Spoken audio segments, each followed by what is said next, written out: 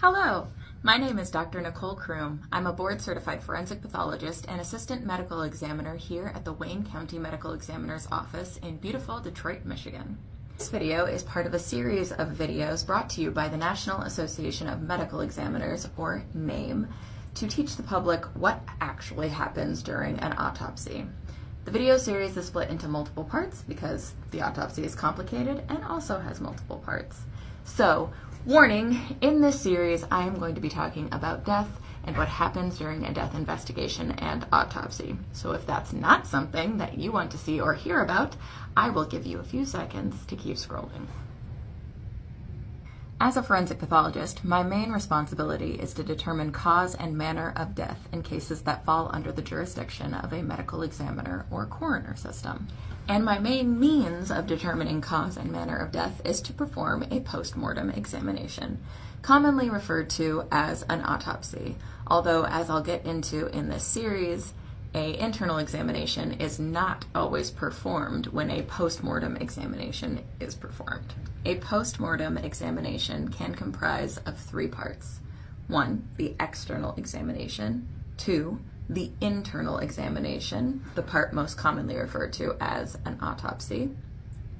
And three, ancillary studies, which are what we call extra testing that we send, such as toxicology or microbiology studies. In this video, I'll be breaking down the external examination. But to do that, I'm gonna need help from our office, John Doe. And here is John Doe. John Doe is our office's teaching mannequin. They help us to teach our rotators, medical students and residents who are coming through our office to learn how to perform postmortem examinations, how to perform an external examination before they get to their first case. For those not in the know, forensic pathologists have to go to medical school. After medical school, we complete a pathology residency, which is either three or four years long, depending on which specific track we choose. And then we have to complete a year-long fellowship in forensics, which gives us our specific experience in medical legal death investigation. So essentially, the external exam is us performing the final physical exam that a person will ever get. Similar to how your physician performs a physical exam when you go to visit them for a routine checkup. As indicated by the name, the external examination is an exam of everything that we can see externally. So what we can see without making any incisions into the body. The external examination serves multiple purposes, but I'm going to try to break them down into sections to make it a little bit easier to digest. As I mentioned earlier, my primary responsibility as a forensic pathologist is to determine cause and manner of death. One of my other responsibilities is to help with identification of decedents, decedents referring to our patients who are deceased. In that vein of identification, the first big group of things that I'll talk about that we document on external examination are physical characteristics. These are things such as eye color, hair color, whether or not there's facial hair, whether or not clothing is present and a brief description of the clothing or at least documentation of the clothing via photographs. This can be especially helpful in cases of missing persons where we receive a decedent with an unknown identity but can match it to the description of clothing that a missing person was last seen wearing. Once we've documented the clothing, it is removed from the decedent so that we can visualize the whole body and conduct the rest of our external exam. After the clothing is removed, it's collected and typically released with the body once the postmortem examination is complete.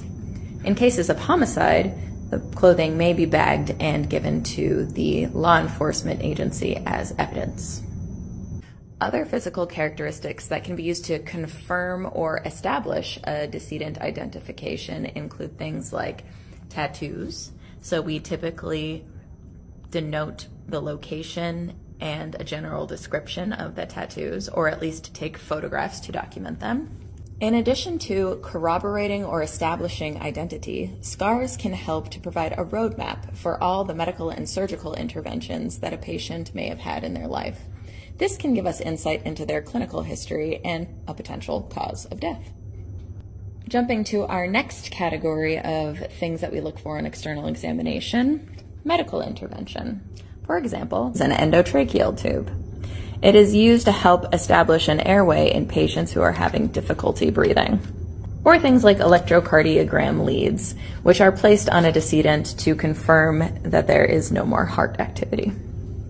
And it's important for us to document the presence or absence of these medical interventions because they can often be mistaken for injury.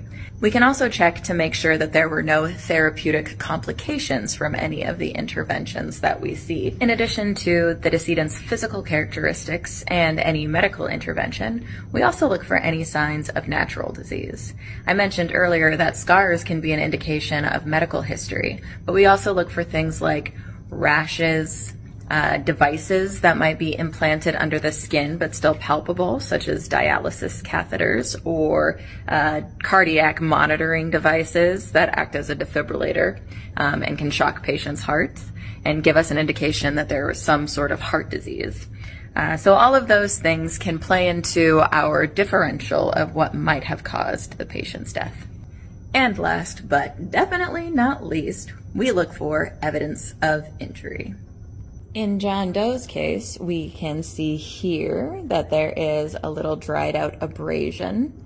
And an abrasion is a type of blunt force injury caused by removal of the epidermis or outer layer of the skin. This type of abrasion with the yellowing actually typical of postmortem.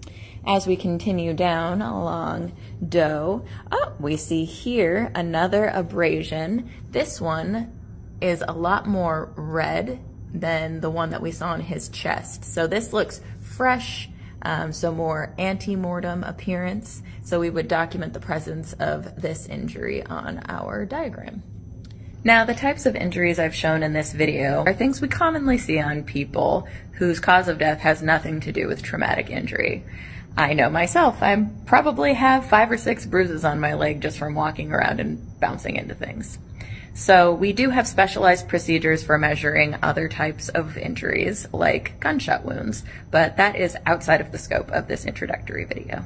If the case is a homicide, the external examination is also an opportunity to collect certain types of evidence, such as fingernails, for possible DNA evidence.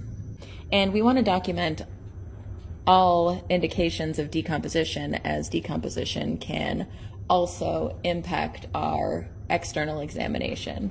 Uh, for example, if a decedent is severely decomposed, it might be impossible to see any sort of external injury due to the degradation of the skin and soft tissue. As I mentioned, the external examination is a full head to toe examination, which includes the backside of the body. So we are always sure to turn the decedents so that we can make sure they don't have any injuries or physical characteristics or evidence of medical or surgical history on the backside as well. Well, there you have it. Thanks for sticking with me for this basic introduction to the external examination. As I mentioned, this is only one in part of a series about the postmortem examination, which can comprise of three components. The external examination, which we went over today, the internal examination, which I will be covering in a later video with the help of my beautiful anatomic model Bueller, and ancillary studies, which comprise of things like toxicological analysis and microbial studies. We don't always need to do all three parts in order to determine a cause and manner of death. Sometimes just an external examination with some medical history will suffice. Sometimes both the external and internal are performed, but no additional testing is sent. A full and complete postmortem autopsy, though, all three will be performed an external, an internal, and some ancillary studies. So thank you for joining me, and if you have any questions or comments, my name is Dr. Nicole Kroom, and you can find me on social media on Instagram at Everybody Decomposes. See you next time.